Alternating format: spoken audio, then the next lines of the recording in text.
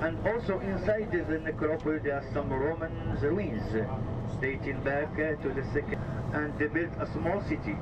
Once they left this area, came those Marinid in the 40s were here before them because when they came here the Roman city was all covered underground and they built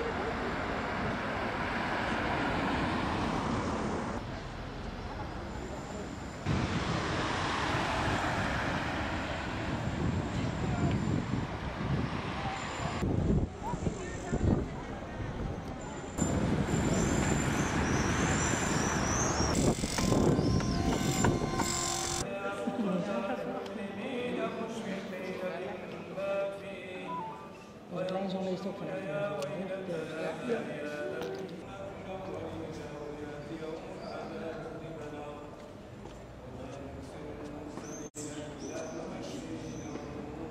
pas trop loin. Mais trop loin, non?